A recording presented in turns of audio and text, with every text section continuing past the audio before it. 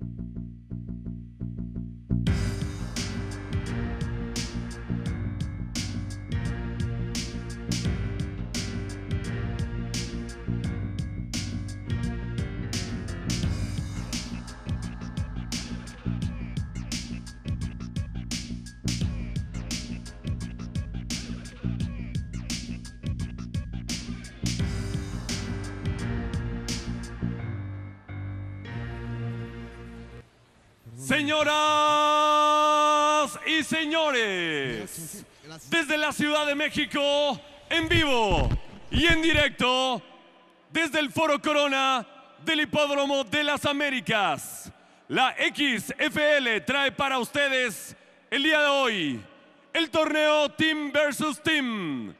Esta noche, Box versus Nippon Kempo. Y en unos instantes más estaremos dando la presentación de nuestra siguiente pelea dentro de la categoría medio. Estaremos viendo a Kevin Barrera Ibarra, el famoso negro, y Alejandro Román, el uruguayo, dentro de lo que será simplemente cuestión de honor entre equipos. Pues sí, muy, muy interesante la pelea también eh, que acabamos de ver. También puede mostrarse que si la pelea se va al piso, pero no se cuentan con las herramientas, Memo, de sometimiento, que en este caso los dos compañeros también de, Ulises demostraron, es difícil. Y es mucho cansancio. Tirar golpe es algo que requiere un entrenamiento mucho más de resistencia que de paciencia. Aquí está ingresando el negro Kevin Ibarra. Recordarles a todos que para cerrar con broche de oro esta velada tendremos un super fight dentro de la categoría de los ligeros. Estaremos viendo a Daniel Salas, el cazador, el actual monarca del XFL, enfrentando a Edgar García Ram, quien fue el que perdió con el rojo en eh, el la primera edición de Nextel Extreme Fighters. Recordar con un mataleón fue sometido, pero ahora tendrá una oportunidad para demostrar grandes cosas en contra del cazador. Bazooka, ahorita vamos contigo para que nos presentes a estos hombres a la siguiente cartelera. En la cuarta pelea del Team versus Team, presentamos ahora, representando a la disciplina del box, a Kevin Ibarra el Negro.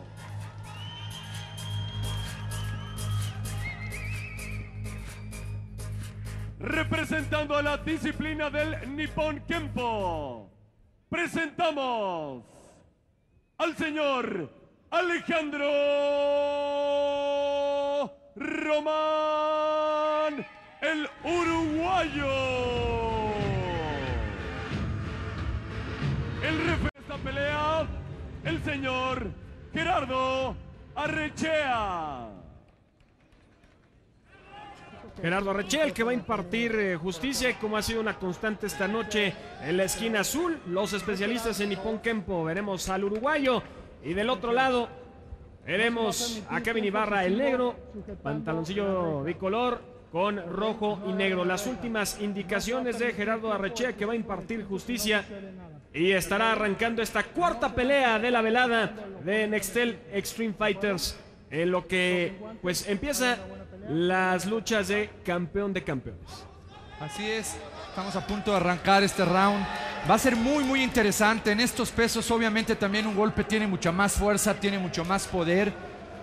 Entonces, yo esperaría ver un knockout. Perfecto. Mario, pronóstico.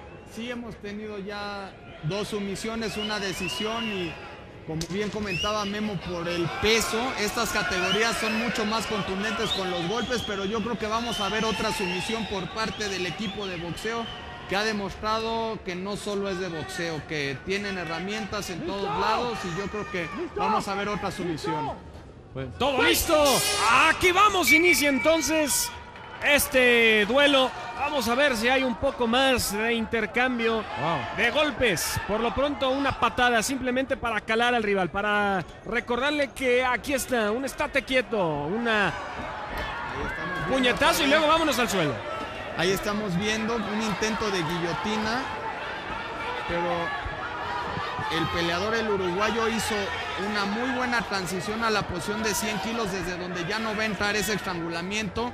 Entró muy bien al derribe y vamos a ver si le saca provecho esa posición. Sí, intercambiaron una buena patada con la que inició el uruguayo. Pero aquí vemos también cómo está revirtiendo la posición. Pero a mi, a mi parecer se va, se va a resolver esto arriba. Traen ganas los dos de, de intercambiar y solo van a ir al piso a manera de defenderse de los golpes. No creo que vaya a haber sometimiento. Por parte del uruguayo, su estrategia, yo lo he visto eh, entrenar y es puro golpe. Si no se cansa, va a definir con golpes. Inclusive por unos instantes intentó el clinch en Muay Thai, intentó conectar algunos rodillazos, los cuales no se concretaron. Y ahora están en el suelo, le intenta tomar la espalda, le mete un gancho. Vamos a ver si logra encajar el otro, muy cerca de hacerlo. Y ahora Kevin Ibarra, el negro, está en problemas. El mataleón, cuidado. Ahí estamos viendo una toma de espalda. Vamos a ver si puede controlar la posición. En mi opinión está con el peso muy hacia enfrente. Puede pasar que se levante Kevin y se vaya por enfrente. Pero vamos a ver si puede encajar el estrangulamiento. Está en una muy buena posición. Recordemos que a veces esos guantes de 4 onzas hacen más difícil el trabajo para estrangular. Y me parece que es parte de lo que le está sucediendo al uruguayo. Sí, sorprendiendo uruguayo también por parte de Nippon Kempo que, hay trabajo de piso. Aunque podemos recordarle a todos nuestros televidentes que la, la montura, la montura por la espalda son posiciones ya muy conocidas en las artes marciales mixtas. En sus inicios mostraban un control total, pero ahora, aunque no sea la especialidad memo de cualquier sistema, todos practican porque al irse al piso es una de las reacciones más comunes, darle espalda en, en defensa, sobre todo a los golpes, que es lo que está usando ahorita eh, Alejandro Román para tratar de abrir y ver si puede entrar o encajar un mataleón. Bien lo dices, Tocayo. Y el dato que siempre da a conocer Mario, el 90% de las peleas se van al suelo. Y por ello es muy importante estudiar otras disciplinas. Vamos a ver si logra finiquitar el combate el uruguayo. Ya ha gastado mucha energía en tratar de buscar el mataleón. Bien lo dices, parece que aunque tiene tomada la espalda está muy arriba y en cualquier momento se podría zafar el negro. Pues sí, está con el peso muy hacia arriba, está controlando bien por abajo del antebrazo, que eso es lo que le ha permitido mantener la posición. Yo creo que tiene que ajustar un poco hacia atrás. Intentó muy bien el uruguayo en un principio estirar a su oponente para poderlo controlar ahí con golpes. Vamos a ver si el tiempo le da para buscar un estrangulamiento. Ahora podemos apreciar en Uruguay un vendaje y quizás hay un parche de color azul. A ver si eso no representa alguna lesión en su entrenamiento o que pudiera estar lastimado. A lo mejor el negro se puede dar cuenta y quizás más adelante se pone de pie, trabajar algún pateo. Pero la tiene difícil, ha, ha mantenido buen control el uruguayo. La clave fue, como dijo Mario, ese brazo izquierdo por abajo del brazo izquierdo, va la redundancia de, del negro, es lo que le permitió Memo que no se fuera hasta, hasta enfrente o que perdiera la posición. Y está en una posición dominante, no la ha podido aprovechar. El uruguayo se mantiene con la toma de la espalda del negro y ahí parece que lo está encajando, pero luego entre el sudor y los golpes que está recibiendo por parte de Ibarra, pues de nueva cuenta se le complica Y hay sangre en el finiquitar y concretar este mataleón. Podemos ver ahí en la ceja izquierda, me parece que tiene sangre o ahorita Sí. veremos si, si alguno de los golpes con los que iniciaron el round conectó. Y no pudo. Como dice a Mario y tú Tocayo, el sudor y los guantes no permiten. Estaba media barbilla el, estrangulamiento, lo cual le permitió una buena defensa y resistencia a Kevin Ibarra.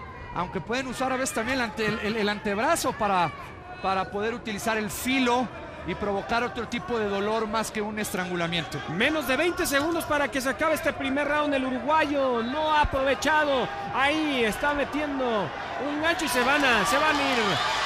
Así, así se va a terminar el primer round. Se están poniendo de pie estos dos hombres agotados. Se alcanza a ver al negro Kevin Ibarra. Pues fundido, y no es para menos. Estuvo resistiendo todo el embate de Alejandro Román del uruguayo. Sí, lo que vi muy bien por parte del uruguayo es que a diferencia de lo que vimos en otros combates, como son varios peleadores que son nuevos, controló muy bien la posición, no se enloqueció tirando ahí golpes o buscando una llave fuera de tiempo y eso le permitió mantener la posición de control durante casi todo el asalto. Sí, realmente Muy bien ese, esa defensa que dijiste, Mario. Aquí la estamos viendo en la Red One, en super slow motion. eh, cómo se fue a la montura de lado. Y aquí también el negro trató de revertir la posición y vuelve a cambiar. Vemos cómo el uruguayo hace un puente que le permite reponer la posición. Y de ahí prácticamente todo el round se fue en la montura de la espalda. Unos intentos del negro a través de golpes. Muy bien también el uruguayo escondió la cabeza. Y bueno, yo creo que este round para el Uruguay le permitió sumar puntos en las tarjetas. Extraordinarias transiciones de estos dos hombres y aunque Alejandro Román mantuvo la posición dominante, pues Ibarra le conectó varios golpes en el rostro, lo cual le ocasionó ya sangrado. Estamos a punto de iniciar este segundo round y la gente presente en el Foro Corona de Hipódromo de las Américas están muy contentos porque la amiga de Memo Salas nos está dando a conocer este segundo round. Así es. Y bueno, se dejaron venir todos los fans, Memo. Yo creo que entre la lluvia y el tráfico, pero aquí están todos los fans de las artes marciales mixtas. Los invitamos el próximo 21 de octubre y a la gran final el 2 de diciembre, donde se estarán disputando dos cinturones, Memo. Exactamente. Así que no se lo pueden perder y continúa por supuesto lo que será el equipo contra equipo. Jiu-Jitsu ante Muay Thai. Eso lo veremos el 21 de octubre, el jueves, para ser exactos. Arrancó este segundo episodio. Ahora sí ha habido un poco más de golpes. Supongo que estarán un poco más cómodos, pero no. El uruguayo me hace quedar mal y busca el derribe desde pues muy pronto en este segundo episodio. Ahí trató, incluso el negro, vimos dos, dos patadas a las, a las piernas, en este caso la pierna izquierda del uruguayo, quizás alguien por ahí en su esquina le, le recomendó que utilizara a su favor esa, pues ese vendaje que puede indicar en un momento dado Mario alguna lesión de, de una patada severa ahí. Ahí Kevin está buscando una guillotina, pero yo creo que ahí se está equivocando en la estrategia porque como está en la media guardia no lo va a poder finalizar y le está consumiendo mucha energía. Yo creo que el uruguayo va a defender ahí, eventualmente va a hacer una transición hacia la posición de la montada. No dejaba de soltar golpes a la zona media en el costado del negro y por ello se movió. Le costó pues castigo y por ello el movimiento. Así se mantienen los dos enfrascados en esta contienda muy física en estos primeros minutos del segundo round. Ahí está la distancia, Gerardo Arrechea, nuestro referee, el que está viendo si interviene o los deja pelear. Muy buena la paciencia del uruguayo, lo que permitió incluso que, que obligara al negro a, a soltar la guillotina. Claro que el sudor aquí sí es un factor importante. Ahí va a tratar de buscar un derribe. Lo logra y bueno, veremos si tiene buena guardia. Quiere buscar una llave de pie.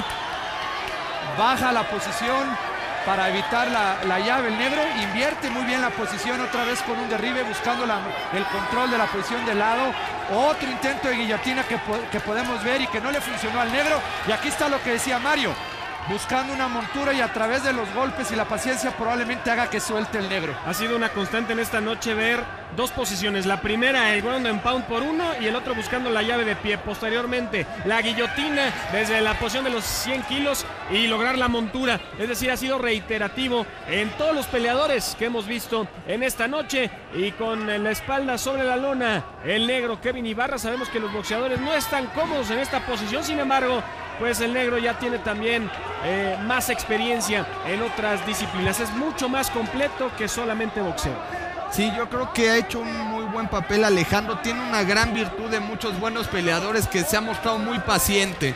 No se ha desesperado en los ataques y eso tiene mucho que ver con el control que puede ejercer sobre el oponente. Se tardó mucho tiempo en llegar a la posición de la montura, sin embargo, cuando llega no le está perdiendo, le está controlando bien, está poniendo bien el peso donde debe de ser y ahí tiene una buena oportunidad para golpear o abrir para una nueva sumisión.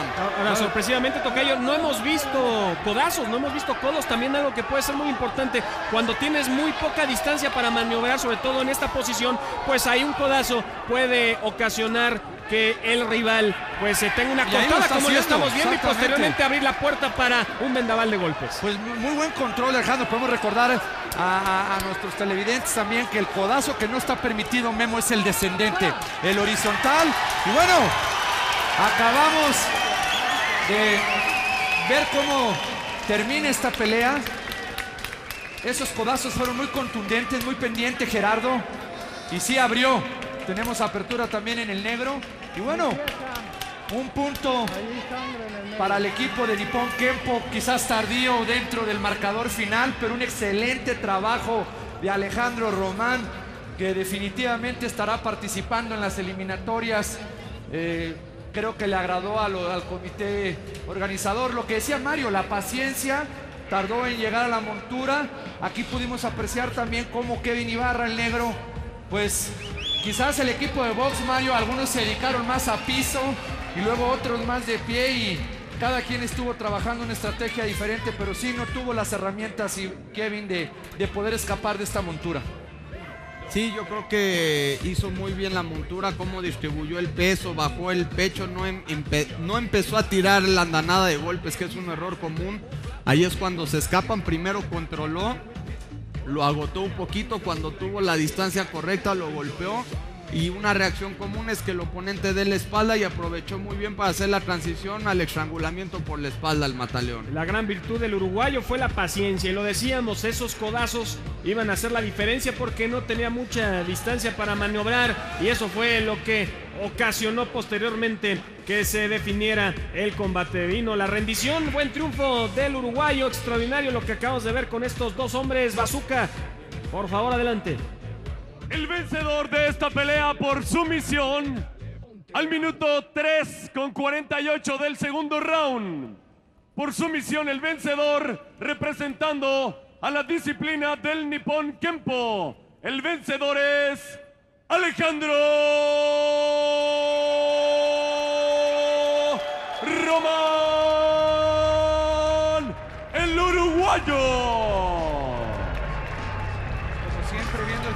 profesionalismo entre los peleadores, el respeto que se muestran mutuamente.